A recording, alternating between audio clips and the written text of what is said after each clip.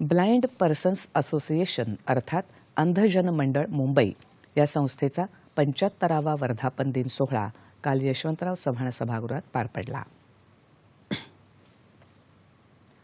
या कार्यक्रमाचं उद्घाटन प्रमुख पाहुणे डॉक्टर श्रीकांत देशपांडे आणि डॉक्टर गोपाळ माणगावकर यांच्या हस्ते झालं. या संस्थेनं अनेक स्पर्धा आभासी माध्यमातून आयोजित केल्या होत्या. त्यापैकी काही निवडक स्पर्धकांनी आपल्या कलेचं प्रदर्शन केलं. संध्याकाळच्या सत्रात साठे महाविद्यालयाच्या इतिहास विभाग प्रमुख घुमटकर यांच्या हस्ते पद्मश्री राजेंद्र टी व्यास पुरस्कार प्रदान करण्यात आला.